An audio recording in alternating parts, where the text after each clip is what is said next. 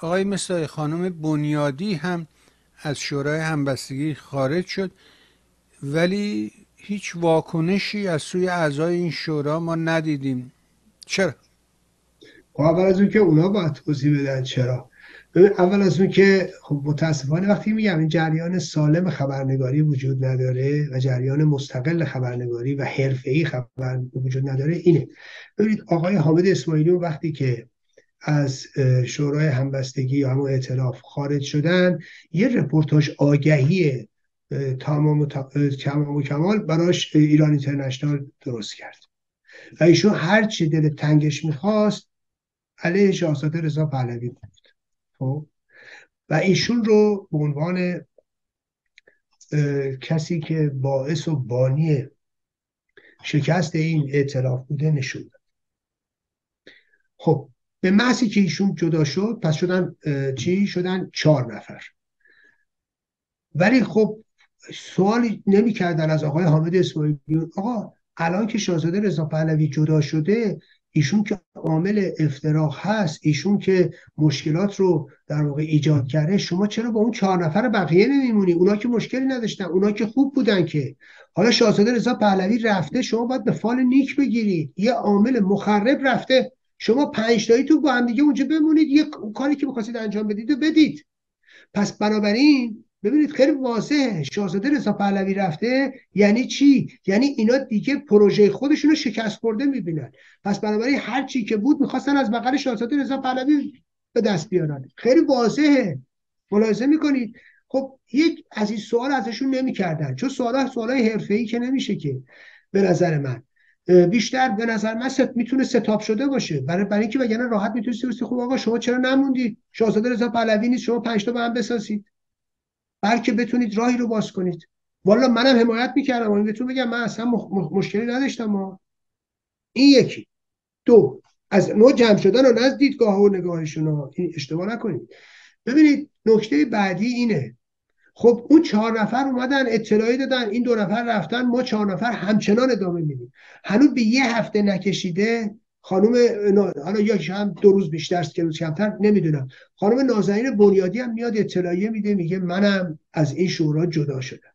بسیار حالا من سوالم اینه خانم نازنین بنیادی که جدا شدن چرا ایران اینترنشنال نمیره با خانم نازنین بنیادی؟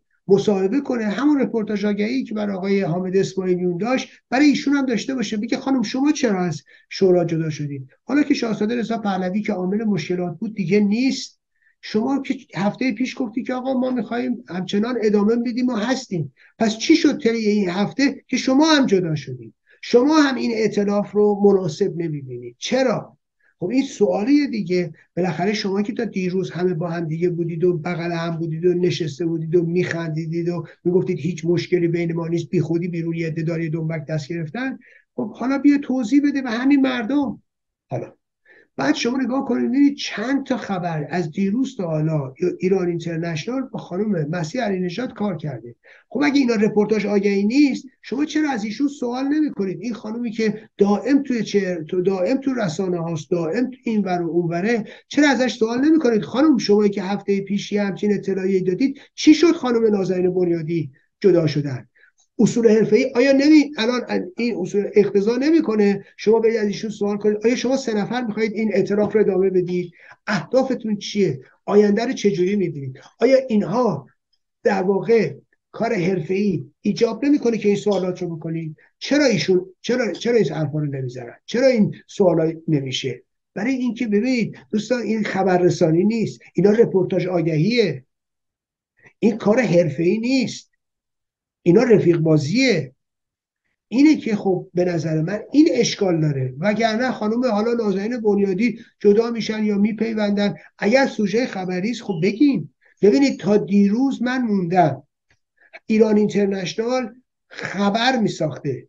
از طریق خانم نازنین بنیادی که مسیح علی نژاد انقدر تو داموز کار کرده که بیحال شده. خب این سوژه خبریه. درسته؟ این کار حرفه‌ایه. درسته؟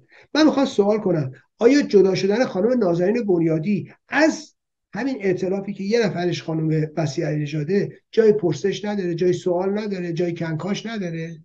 خانم مسیح نژاد نباید مورد پرسش قرار بگیره. راجب آینده این جنبش آینده این شورا اینی که می‌گفتن مشکلات رو می‌خواد حل کنه. به نظر من برای اینکه کار ای صورت نمی‌گیره و این باعث تاسف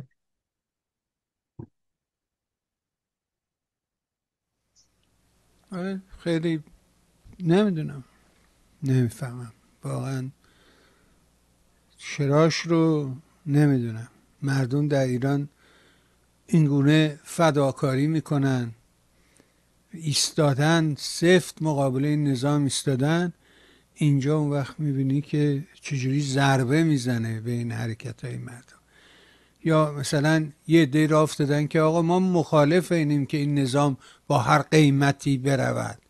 من اینو نفهمیدم یعنی چی. شما تعریفی دارین از این ماجرا؟ ببینید حتما که کسایی که این حرف ها رو می‌زنن نگاه درستی ندارن. حالا بماند که حالاش ممکنه بخشش مثلا ارتش تایبری رژیم باشن یا اتاق فکرهای رژیم باشن که اینا تولید می‌کنن بعد یه دم خریدار پیدا کنه. خب از به غیر از این هستن کسانی که بارها و بارها در خارج از کشور تحت عنوان نمی‌دونم نهضت ضد جنگ لابی رژیم و حتی بخشهایی از اصطلاح همین چپ رو هم دنبال خودشون کشوندن در طول سالیان گذشته. ما بارها و بارها شاهدش بودیم.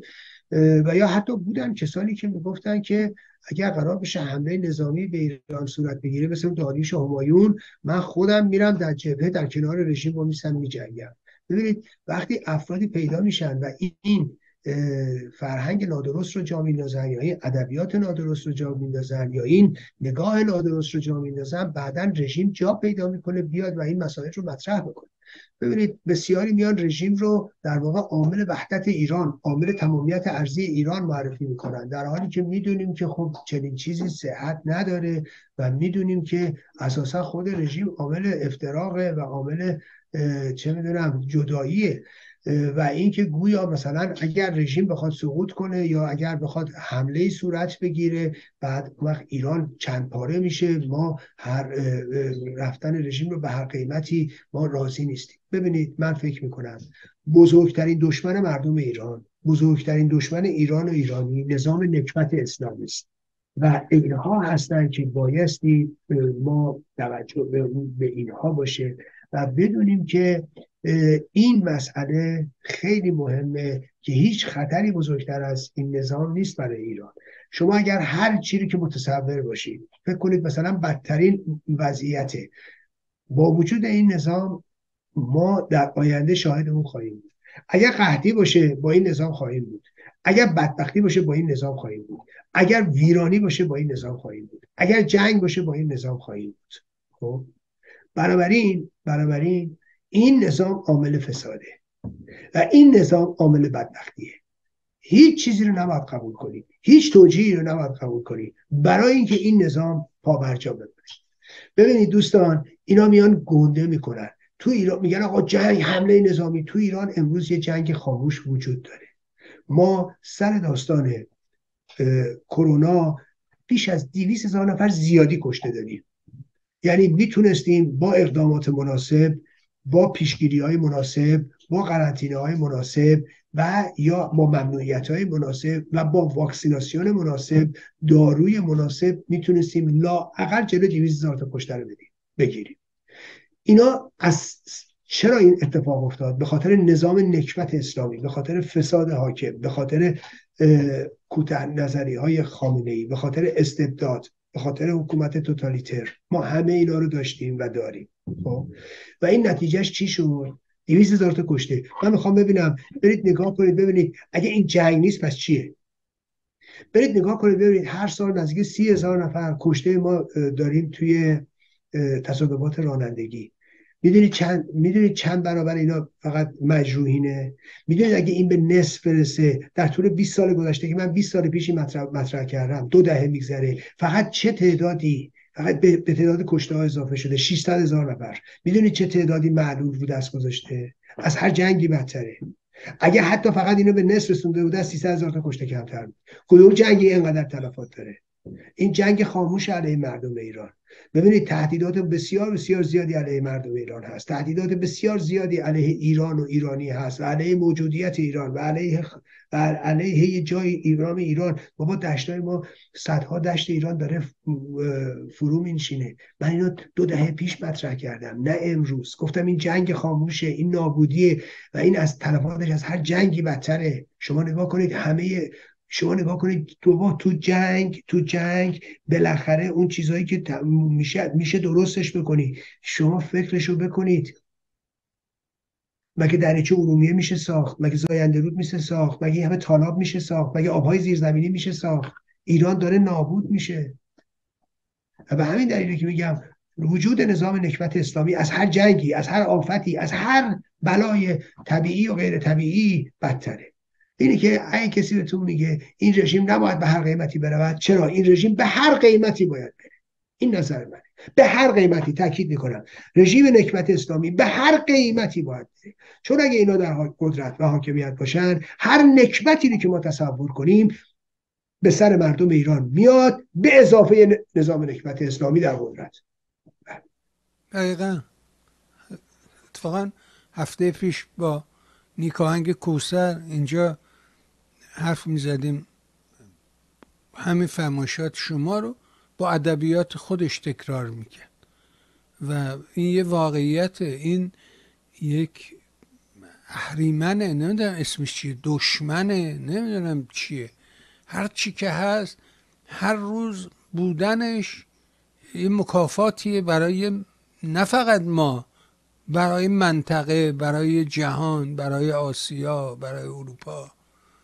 برای همه دنیا برای انسانیت. اینا اصلا خیلی عجیب